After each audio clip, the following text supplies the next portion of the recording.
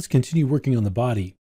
So you'll see this is as far as I got. And one of the things that you might notice is the fact that there are a lot of polygons really on areas, especially like the chest and some of these open areas.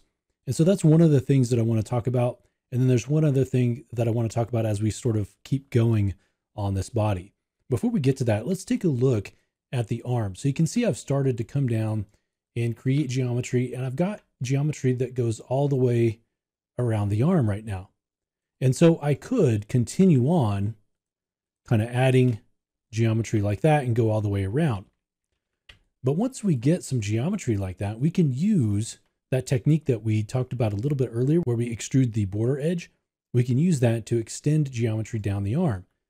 So if we look down under our keyboard mouse shortcuts, if you remember, the tab middle mouse under the, uh, when you're hovering inside the quad mesh, will allow you to extend a border edge, which we were doing it kind of out in the middle of open space and it extended out a few edges at a time. If we do it on a closed loop like this, we can actually extend geometry very quickly down the arm.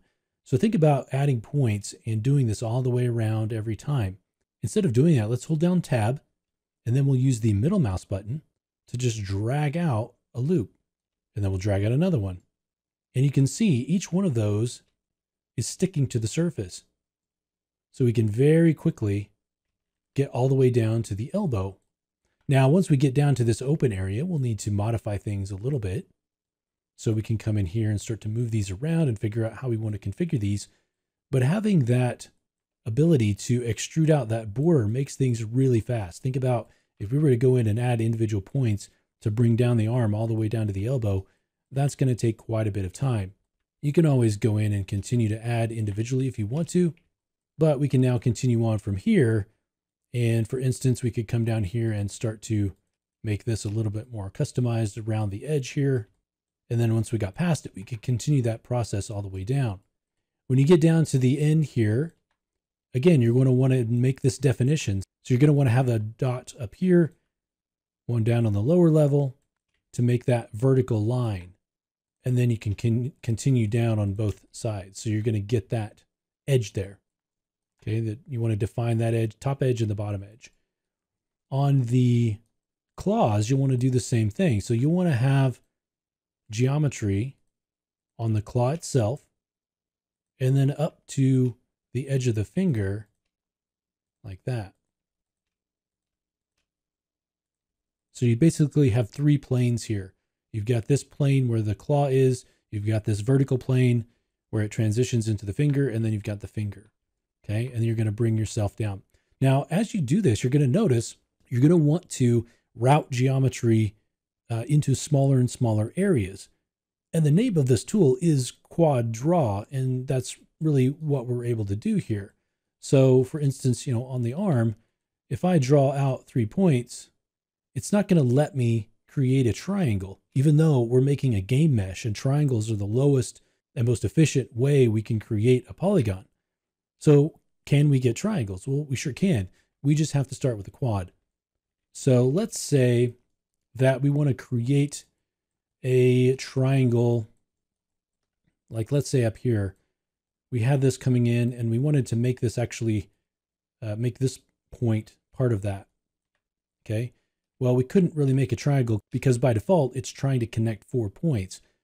But we can go in, create a separate point, and then we can simply drag the point. And as we drag those points close, they'll snap together and we can create triangles that way. In addition, if you happen to create a hole that is a triangle, so for instance, if we come in here, make a polygon and snap this and then, you know, snap that over. If you have a hole like this, then you can just hit shift and you can quickly fill that in. Now, one of the things that I like to do is in these open areas where we know it's not that efficient to have all of these quads in here, we don't need them all, but I will go ahead and create those just because it's a lot easier to create that nice edge flow. And then I can figure out, okay, where are the areas where we don't need all of that resolution? And then all you have to do to create triangles or to reduce the geometry is simply to start connecting things together. So you can just drag point to point And in those areas where you don't need the resolution, that will let you reduce that. Okay. A lot of times the areas where you'll need the resolution are places like around these curves, along the silhouette, you'll need extra points. But in areas along, you know, open surfaces, you're not going to need all of that resolution for the most part. And so you can very quickly dial that down just by clicking on a point and snapping it. So we can come in here and we can keep going on areas like the leg. And once you get the geometry all the way around the leg, for instance, here, we're sort of following along with that curvature of the leg, thinking about how it's going to deform and making sure that you have edges where you're going to want to have movement in your model. Okay, so we'll leave this edge flow kind of going around the inside here. And then we can connect this up kind of like that. Kind of move these down if it's a little bit too far apart. And then again, with our tab trick, hold down tab and a little mouse, and we can very quickly get some geometry going. You know, and you might have times where as you pull this down, you can see where it's getting, you know, part of it's getting pulled down further.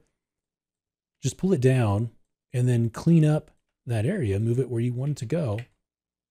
And in some cases, you may have, when you do that, you may have points that appear sort of inside, and there may be, you're not able to access them because they're a little bit too far inside, and so we're not seeing them. So you can always turn off the live surface and you can select your low res mesh.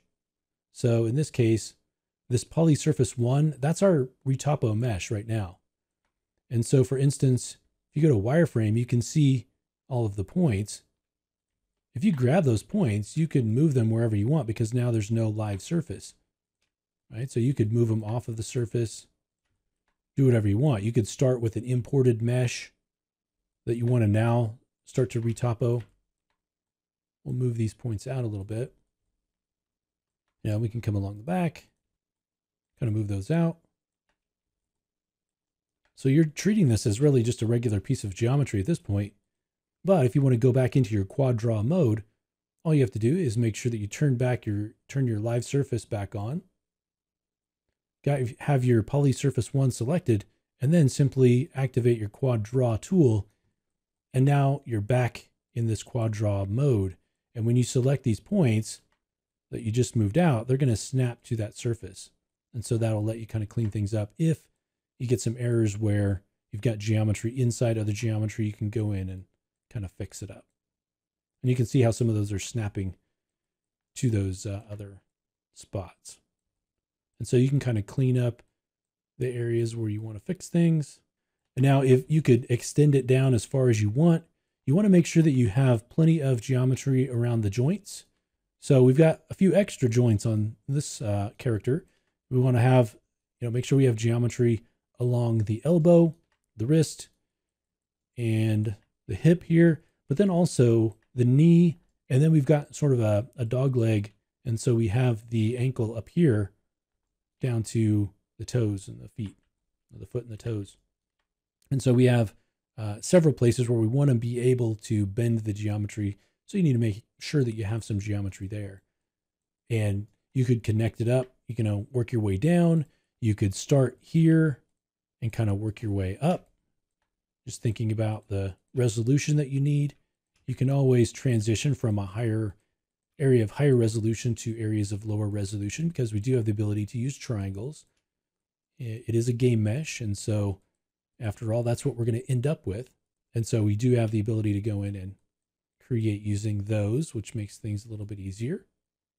But you do want to get your, you know, as much of that detail in there as you can. So you can see that polygon was sticking straight through that geometry. And so I added another edge inside there to kind of get that silhouette a little bit closer to what we want. And then again, tab, middle mouse, and you can start to extend that up along the leg.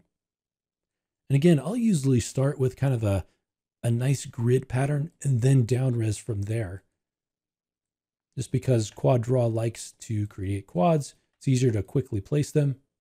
And then you can go in and reduce where needed while still leaving the geometry along the edges where they'll be most useful. All right. So why don't you go ahead and continue down the arms and legs, filling in your uh, geometry here. You can use the border extrude or other techniques. You can always turn off your live object if there are issues with the geometry. Your object is just a polygon object that you can go in and move the points around. And then when you turn that live object back on, you're able to then snap those points back onto the surface where they need to be. All right, so I'm going to go ahead and finish up the leg. We can take a look at that, what that looks like in the next video. And then we'll start doing some retopology on the head using some of the same techniques. And we've got the, the heads up display here displaying the, uh, the faces and triangles here that we're working with.